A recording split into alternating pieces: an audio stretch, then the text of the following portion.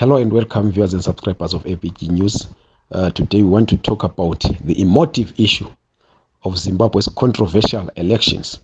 And this is based on the fact that there are still many who believe that the elections can be rerun, who believe that the SADC, based on the SADC uh, election observer mission, uh, is going to force Zimbabwe into a rerun of the presidential election. And they are saying that the SADC election observer mission declared Zimbabwean elections null and void based on what they term gross um, mismanagement of the 23-24 August poll.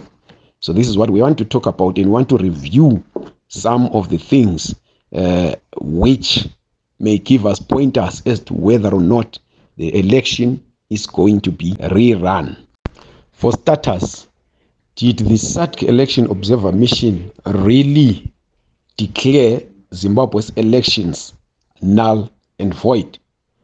Let us listen to the head of that mission, former Zambian Vice President Dr. Nevers Mumba, when he delivered the election report in Harare.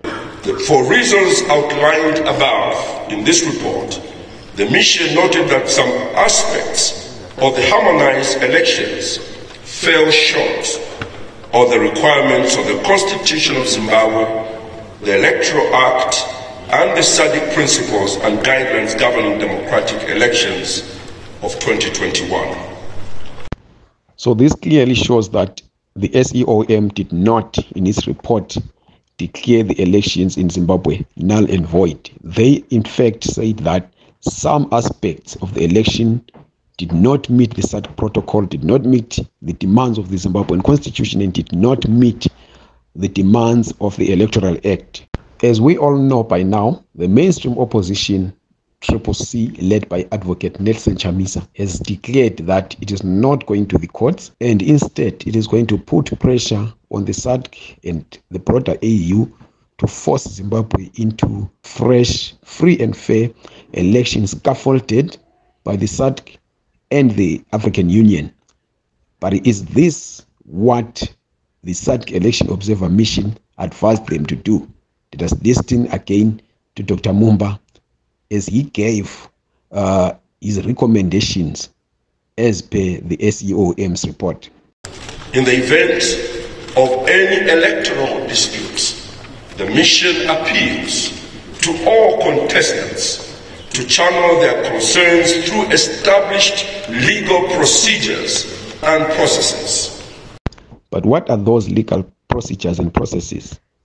According to the Zimbabwean law, whoever has a grievance based on the way in which the elections were handled has to go to the courts within seven days of the announcement of results and present prima facie case that the, the election was marked with gross uh, mismanagement which could have affected both the election and the results.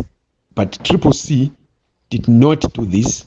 They instead decided to stay away from the courts, arguing that the Zimbabwean courts were captured by ZANU PF and President Emerson Mnangagwa. And as a result, President Mnangagwa was inaugurated for his second and constitutionally last term, and he has already set up a government. Despite all this, the mainstream opposition is still adamant that the SADC and the African Union are going to force Zimbabwe into a fresh, free, and fair election. And they say that President Mnangagwa and his government are illegitimate. But is that hope well placed or misplaced?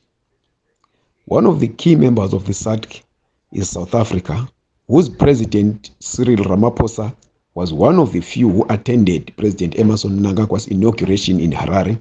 And President Ramaphosa himself gave direction as to what the mainstream opposition in its grievances should do. The Electoral Commission in Zimbabwe has made a declaration, and uh, it is on that basis that we have issued our congratulatory message. Uh, elections are processes that are always either disputed or accepted, and when they are disputed, there are always channels in every country to challenge the outcome of the elections, and we want that to always be done on a peaceful basis.